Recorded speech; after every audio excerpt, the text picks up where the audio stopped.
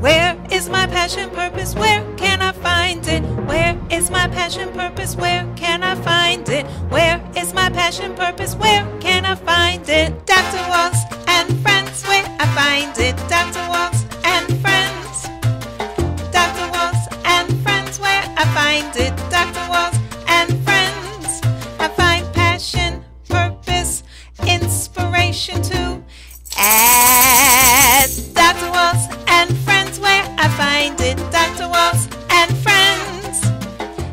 Welcome to Dr. Walls and Friends. We are here live at the Mega Martial Arts Magazine weekend at the Tropicana in Atlantic City. And I am here with a very familiar face to some of you, Mr. Mel Novak. How are you doing? Every day about the ground is a blessed day for me. Yes, yes. So now, many people have seen you in a lot of different movies. Tell us about this acting career of yours. Well, it started out in uh, Black Belt Jones. I played a hitman named Blue Eyes. And from there, the director took me to Hong Kong where I did The Game of Death, Bruce Lee's last movie. Yes. And so I, I've done a lot of mo- I've done 25 starring, and co-starring roles in movies, but generally as a villain. Died like a whole bunch of times in the movies. And you're doing a movie now. Yes, uh, Samurai Cop 2 Deadly Vengeance, and I have a co starring role. And the nice thing is, uh, Gregory, the director, uh, just signed me to do two more pictures with him. Excellent. And the next one is like a James Bond villain. Uh oh. That's all we're going to get. That's it. That's it. And then uh, in April, there's another film called uh, Syndicate Smasher, and I have the main role on Mercenary. So it's it's it's fun because it's a little different than in my real life. yes, yes. And that's what I was going to say. So here you play a villain for so many years. Yes. But when you come out of the acting, which I think is very important for people to know, and you come back into yourself, what is it that you're doing with your time? Well, I've been ministering in the Skid Rows of Los Angeles, which is between New York and Los Angeles, the biggest in the world. I've been there 32 years, and uh, the people call me, they love me down there. They call me the mayor of Skid Row. Okay. And I do chapel services, counsel, and uh, it, it's really hard because you see all the brokenness, Yes. rejection, abandonment, betrayal. And then I go into prisons and penitentiaries 29 years. I've been in some of the worst ones in the, in the world Pelican Bay, San Quentin, uh, Rahway, New Jersey, uh, Mm-hmm. everywhere. And God gives me favor there Yes. because I played one of them in the movies Yes, yes. and they know uh, that I come in there to help Yes. because people need to understand that we're in a war with the devil, and but their deliverance because nothing's impossible with God, nothing's too hard. So I'm good at encouraging, edifying, uplifting, which Yes. you in, in your in That's your what I uh, do. yes, which That's is what I which do. is really great. Now tell me, how did you make that transition from acting into the work as a minister? Well, actually, I've had miracles. Uh, I should have died six times, and I never did drugs or alcohol. It had nothing to do with that. Right. I've had 27 surgeries. From pro baseball, uh, I had 60 scholarships in football all over the country. Okay. Major universities, track, basketball. Signed a pro baseball contract uh, with Pittsburgh Pirates, and a year and a half later, I'm a cripple. I was crippled five years.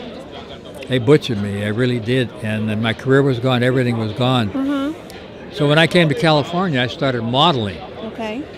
and then it led to doing some film work. Mm-hmm. And then, like I say, the first big role was Black Belt Jones. Right. But the Union Rescue Mission, 32, it'll be 33 years Easter, called me as a celebrity Uh-huh. for the sunrise service. They ho- they heard I was a Christian. Okay. So, and I had about 25 street people around me. They, they were hanging on every word for an hour just to encourage, because drugs drugs are brutally addictive and dis- destructive. So, the CEO was watching. Yes. So he said, "Would you like to do a service?" Sure. Then the L.A. mission heard about me. Then L.A. County Jail, the chaplain was a Bruce Lee fanatic. Uh huh. That took me there.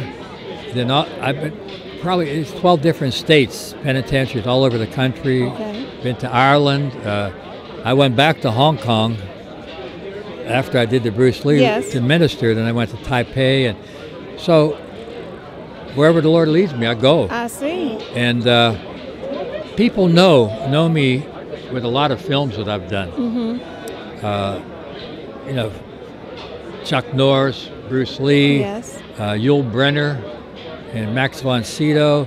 Uh, it just, you know, there was a lot of doors that were open for me, Mm-hmm. and uh, I did I did a picture with Isaac Hayes. He has a real nice deep voice, yeah.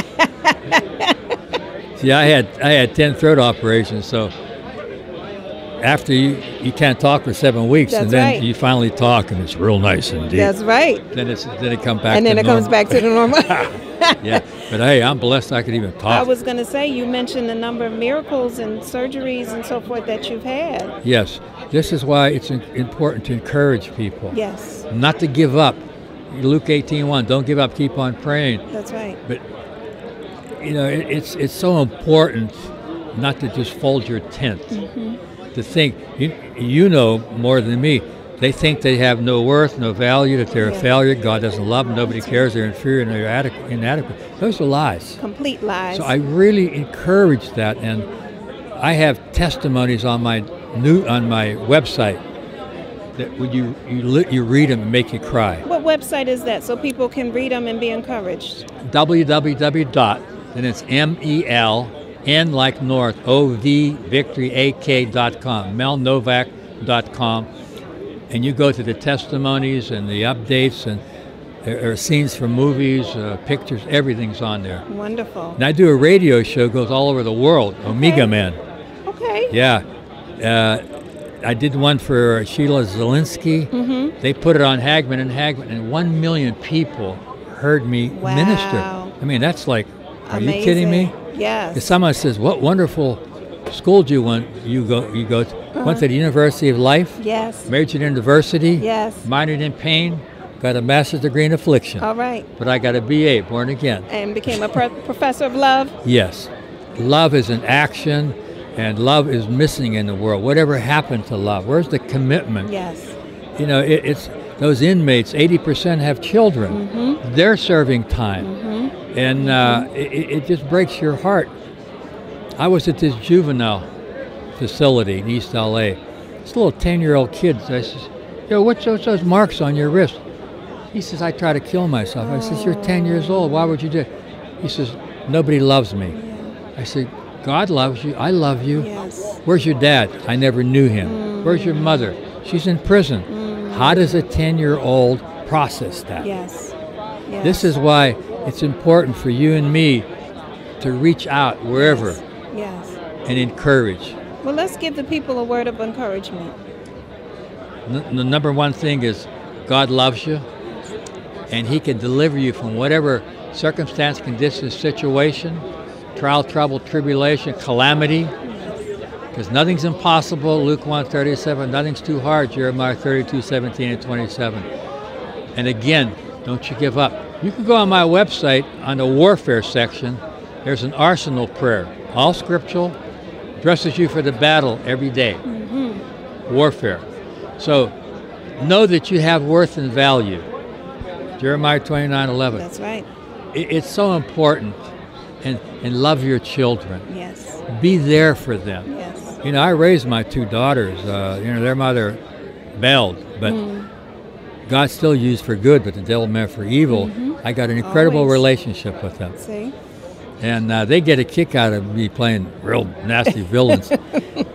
In in April, I'm signed to do a picture, Syndicate, Syndicate Smasher, and I I, I, know, I shoot about 50 people Oh in my that one. goodness. Yeah. Not you. But I got blanks. That's, That's what I tell the inmates. That's right. I just shot three people, but I used blanks, went home, took my makeup off. Exactly. exactly. And you're coming back out to, to share the word and share the love. Yes. The, see, that's the key. Where's the love? Yes. Where's the love?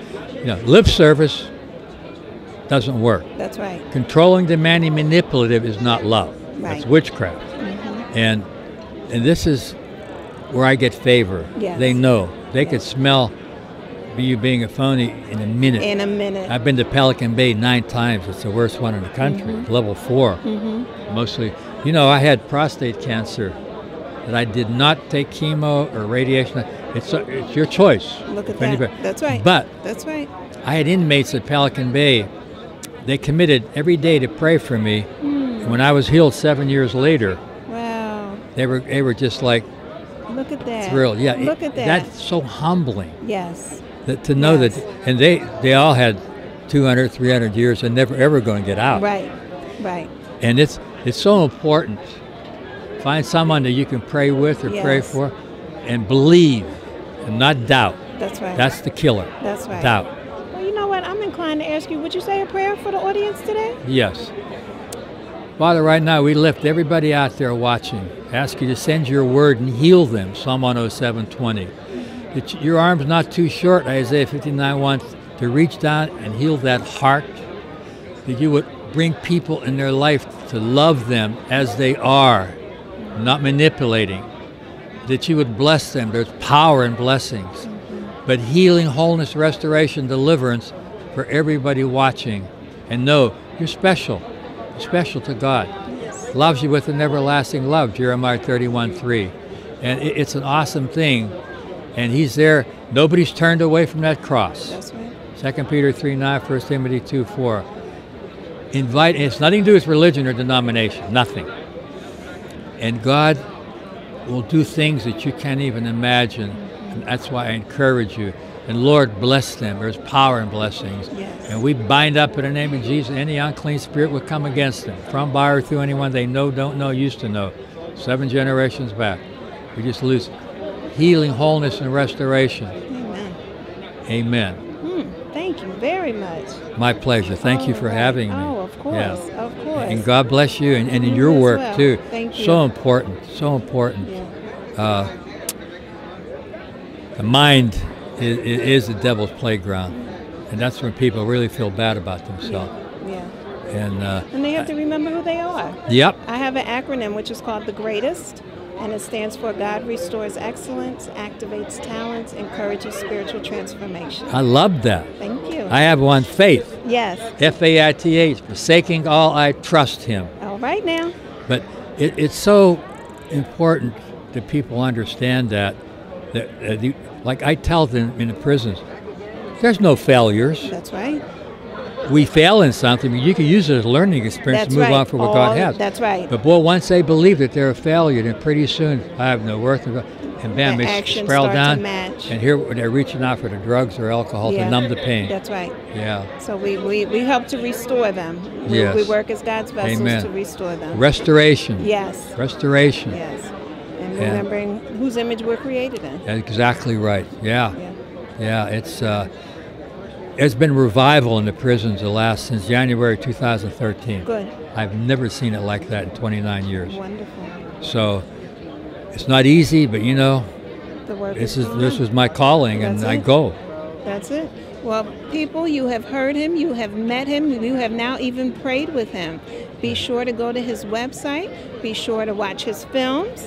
And anything else that you'd like to share with them before we go? Don't throw rocks at me when you see me play a. He's just acting. We had a chance to meet the real person behind behind the script. Thank you Thank so you much. so for joining much. God right. bless you. And we'll be back. You as well. We'll be back shortly on Dr. Walls and Friends.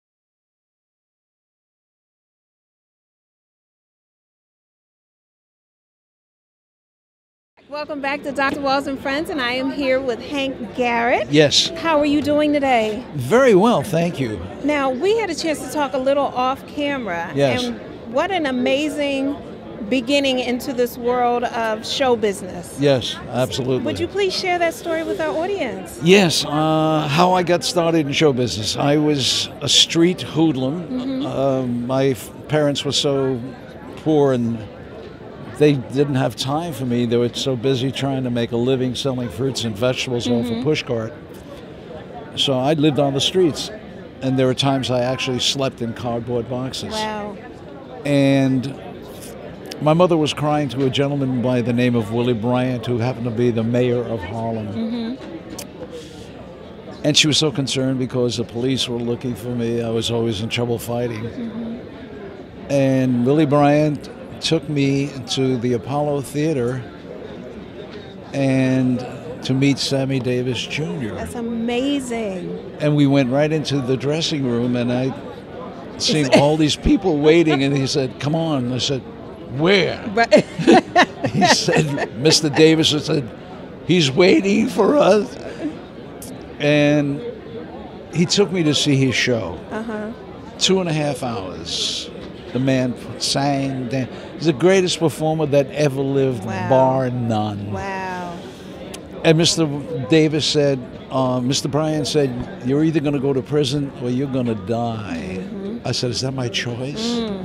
He said, Right now, yes. Wow. And I was carrying a gun when I was 13 years old. Okay. And they got me a job Uh-huh. working for an all African American orchestra. And I was a band boy. Okay. I said, What is that? Do I steal stuff? Steal instruments? He said, no, no, no, no, no, Wrong kind of band. He said, No, no, you take out the music, put it out, and the charts would in the proper position. Yes. Yes. And when you get through, uh, you just put it all back together. And I went, and I worked at a place called the Hotel Theresa. And at the end of the evening, uh, the man was named Lucky Millinder. Uh-huh. He gave me fifty dollars. I said, "Wow!" He said, "Get yourself some new kicks, Okay. shoes, Yes. because my shoes were torn to shreds." Mm-hmm. So I said, "I went from Thom McAn to mm-hmm. Florsheim in one night." One night. Yes, I bought a pair of Florsheim shoes for fifteen dollars, mm-hmm. And gave my mother thirty-five, and that's more money that she had seen all Oh, month. Well, they kept getting me gigs, and 20 some odd years later, I'm opening for Tony Bennett at the Sands in Las Vegas. Really? Honest to God. And in the audience was Frank Sinatra, Dean Martin, Oh, and. Sammy Davis Jr. The whole pack. And Sam looked at me. Uh, first of all, uh, Frank gave me a standing ovation. Okay. And then when Frank stood up, the world stood, Stood up. That's right. And Sam said to me, uh, Where do I know you from? And I said, You don't remember me. At this gets to me. Oh my goodness. So uh, I said, You remember the kid you said was going to go to prison or die? We both cried. And. I became a cop for about a minute and a half. Uh-huh. And as I was, uh, truly, I was, and I was assigned in Harlem. Mm-hmm. And a friend of mine, his wife was Mm. working for Nat Hiken, who created Car 54, Yes. and before that, the Bilko Show. And they got me an audition for the show, and I was accepted. I played Officer Nicholson on Car 54, Wow. And so I resigned from the police department. You said this one's a little safer. Uh, yes, yes, and it's a little more steady. exactly right, right, right. So I said, "Do you want to be?" And my commanding officer said, "Wait a minute. You're going to give up being a comedian on the New York Police Department for television?" I said, "What a choice!" Yes. And so uh, the, I wound up doing the series, Look At that. and uh, I did a movie with Robert Redford called Three Days of the Condor, and I wound up winning the New York Film Critics Award. Look at, wow. Yeah. What a journey. Oh yeah, it, it's been amazing. Truly. And my manager, uh, Deanna Marie Smith, Yes. uh, we've been writing the book about my life on the street. and Great. It's called Up from the Sidewalk, and it's just about finished. Okay. You know, all the perils of Pauline. Yeah, yeah. I'm just sitting here thinking as you're telling the story, just how your life came really kind of full circle, in the Oh. sense from starting out as a as a thug or a hoodlum yes, yes, to then playing to being a cop yeah. to then playing a cop. Yes, in fact, uh, Deanna Marie calls me Hankster the Gangster. That's funny. That like that. She said, "Here he is, the hoodlum cop." That's right. So, which side of the fence are you going to be on? Wow. Oh yeah, I was beaten up by the cops, and Oh my goodness. oh god, so many, so many problems. So what what for people who are listening to this, for people who are watching you and saying, you know, they feel like maybe there aren't any choices. What what is your, what are some words of inspiration and encouragement for them? Well, I'll tell you something that I've, we've been doing of late. Uh, I've been talking to children who are in trouble. Yes. We went to a couple of institutions where children from 11, the age of 11 to 17, Okay. are waiting either trial or imprisonment. And I just started talking to them about my life.